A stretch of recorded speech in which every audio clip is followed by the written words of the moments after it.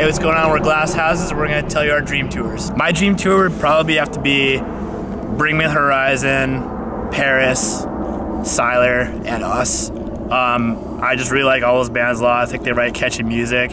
Um, I think we would be great in that lineup. So my dream tour would be uh, Bring Me the Horizon. Just, uh, their fan base and their music. It's awesome. It'd be sweet to see them every night.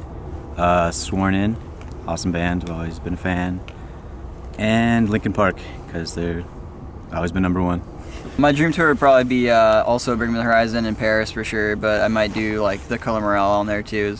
I've seen Bring Me the Horizon in Paris a few times live and just some of the best live bands I've ever seen. My dream tour, there's a lot of bands I really love, a lot of bands I really look up to and would love to play music with, but if I had to pick one, it would be Slipknot because they really are just the epitome of metal and punk and what the scene means to me.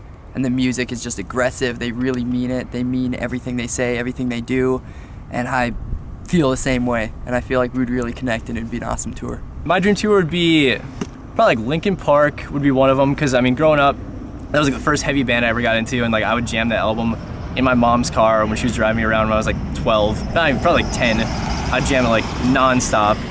Um, they were like my favorite band of all time at the time. Then I'd say a day to remember just because they've probably consistently been one of my favorite bands for like 10 years almost.